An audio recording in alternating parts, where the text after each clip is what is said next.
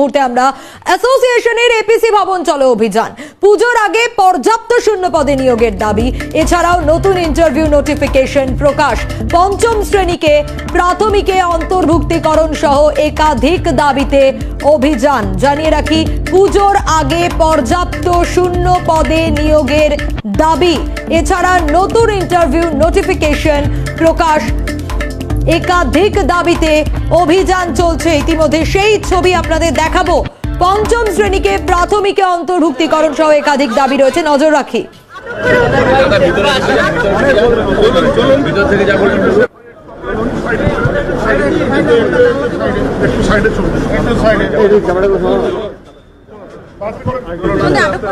আমরা দু হাজার বাইশ স্টেট আমরা ইন্টারভিউ গাড়ি চালা দিয়ে চালা যা বলুন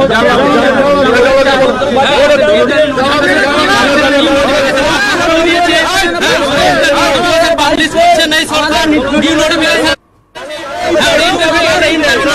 দাবিতে আমরা এসেছি আমাদের পাঁচ বছর পঞ্চায়েত নেওয়া হয়েছে এক বছর রেজাল্ট পাবলিশ হয়ে গেল এখনও আমাদের কোনো ইন্টারভিউ নোটিফিকেশন দিচ্ছে না আমাদেরকে আমাদেরকে পুলিশ আটক করেছে ছবিটা দেখাচ্ছিলাম আর ঠিক এই ছবিটাই সাধারণ মানুষের চোখে সয়ে গেছে এখন। যখনই আন্দোলন, যখনই অভিযান, তখনই পুলিশি বাধা।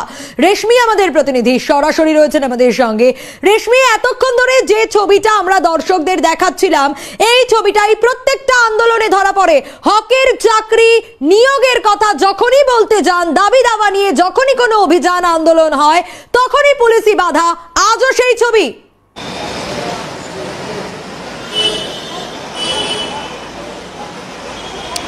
দেখো গত বছর, অর্থাৎ দু সালের ডিসেম্বর মাসে দীর্ঘ পাঁচ বছর পর প্রাইমারি টেট পরীক্ষা হয়। সেই পরীক্ষা হয়, রেজাল্ট বেরোয়। কিন্তু এখনও ইন্টারভিউ হয়নি। দাবি, সেই পরীক্ষায় উত্তীর্ণ চাকরি প্রার্থীদের। এবং তারা বলছেন, পুজোর আগে ইন্টারভিউ নিতে হবে। পাশাপাশি দু হাজার তেইশে যে টেটের তারিখ কার্যত ঘোষণা হয়ে গিয়েছে, কিন্তু দু হাজার যারা টেট পাস করেছিলেন তাদের ইন্টারভিউর প্রক্রিয়া এখনও সম্পন্ন হয়নি আর তারই দাবিতে অর্থাৎ ইন্টারভিউ নেওয়ার দাবিতেই আজকে দু সালে টেট উত্তীর্ণ যারা চাকরি প্রার্থীরা রয়েছেন তারা এসেছিলেন প্রাথমিক শিক্ষা পর্ষদের অফিসে সেখানে আহ, তারা যারা আধিকারিক রয়েছেন তাদের সঙ্গে দেখা করতে এবং ডেপুটেশন জমা দিতে। তারা যখন এই সেন্ট্রাল পার্ক মেট্রো স্টেশন রয়েছে, সেখান থেকে তারা বের হন।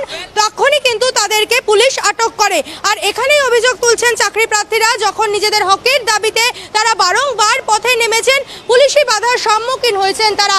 এবং তারা যখন ডেপুটেশন কর্মসূচি গ্রহণ করার কর্মসূচি গ্রহণ করেন, অর্থাৎ মেট্রো স্টেশন থেকে বের হন, সেই সময় কিন্তু পুলিশ তাদের আটক করে। এবং যারা চাকরি প্রার্থী, তারা বারংবার বলতে থাকেন তাদের যে নিয়োগ, সেই নিয়োগ চাই। এবং তাদের যে দাবি, সেই দাবিগুলি তারা তুলে ধরেন। মূলত পুজোর আগে পর্যাপ্ত শূন্য পদ সহকারে নতুন ইন্টারভিউ নোটিফিকেশন প্রকাশ করতে হবে। পর্ষদের ঘোষণা অনুযায়ী বছরে দুবার নিয়োগ দিতে হবে। পঞ্চম শ্রেণীকে প্রাথমিক অন্তর্ভুক্ত করতে হবে। দু হাজার বাইশ ডিএলএড টেট পাস চাকরি প্রার্থীদের পূর্ণাঙ্গ তালিকা প্রকাশ করতে হবে। জেলাভিত্তিক শূন্য পদের তালিকা প্রকাশ করতে হবে। এই যে দাবি, এই দাবিগুলি নিয়েই কিন্তু তাদের আজকে প্রাথমিক শিক্ষা পর্ষদের অফিসে ডেপুটেশন দেওয়া, জমা দেওয়ার কর্মসূচি ছিল। তারা বলছেন, শান্তিপূর্ণভাবেই তারা ডেপুটেশন জমা দিতে চেয়েছিলেন, কিন্তু তাদের কর্মসূচি শুরু হওয়ার আগেই পুলিশ তাদের আটক করে। পাশাপাশি তারা জানান, পর্ষদের তরফ থেকে বলা হয়েছিল, বছরে দুবার প্রাইমারিতে নিয়োগ দেওয়া হবে। সেক্ষেত্রে পর্ষদ তাদের যে প্রতিশ্রুতি, সেই প্রতিশ্রুতি পালন করেনি। অভিযোগ করছেন তারা পাশাপাশি পঞ্চম শ্রেণীকে প্রাথমিকে অন্তর্ভুক্ত করতে হবে এবং পুজোর আগে দু হাজার বাইশে যে ডিসেম্বর মাসে টেট পরীক্ষা হয়েছিল, সেই টেটে যারা পাশ করেছে, তাদেরকে যে ইন্টারভিউ সেই ইন্টারভিউ তালিকা প্রকাশ করার পাশাপাশি তারা বলছেন, জেলাভিত্তিক যে শূন্যপদ, সেই শূন্যপদ প্রকাশ করতে হবে এবং ডিএলএড যারা ক্যান্ডিডেট তাদের তালিকা প্রকাশ করার দাবিতেই দু হাজার বাইশের টেট পাস ক্যান্ডিডেটদের কিন্তু প্রাথমিক শিক্ষা পর্ষদ অফিসের আধিকারিকদের কাছে ডেপুটেশন গ্রহণ করার কর্মসূচি ছিল।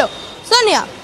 সেক্ষেত্রে রেশমি বারবার যে ছবিটা ধরা পড়ে এবং যে কথা দিয়ে শুরু করেছিলাম, এখনও আমরা দেখতে পাচ্ছি পুলিশি প্রহরা রয়েছে। সব সময় আটকানোর চেষ্টা, বাধা দেওয়ার চেষ্টা, কিন্তু কখনো তাদের কথা শোনা হয় না। আজও তারা শান্তিপূর্ণভাবে ডেপুটেশন জমা দেওয়ার কথা ছিল তাদের। সেক্ষেত্রেও বাধা পেতে হলো।